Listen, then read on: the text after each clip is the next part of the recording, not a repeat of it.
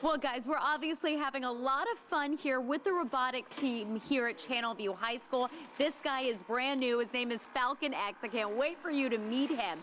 But this is also a serious story and all about really making these kids get interested in the sciences, whether they want to be astronauts or they want to be engineers. This is the type of thing that is motivating them. I'm ready. Ready when you are. Meet Channelview's newest student. He's a little short, a little stout, but bursting with personality. And just like most teenagers, sometimes he needs a little rewiring. I work on the coding and making sure the robot is running all right. Falcon X was created by Channelview High School's newest club.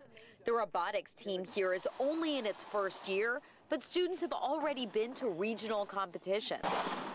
All you have to do is look across the street from the school to see that this is a refinery town. And the men and women who work at LyondellBasell, and other plants are now volunteering with the robotics club after work. The critical thinking skills is what they develop, right? It's also the uh, you, you develop relationships, and so they can understand, hey, these are guys out in the plant, and I can do this too, from, from a career standpoint as well. I really wanted to pursue my STEM career, and I really want to be a safety captain on the team. It's a good thing the students are focusing on robotics because it looks like they may have just gotten some major competition on the basketball court.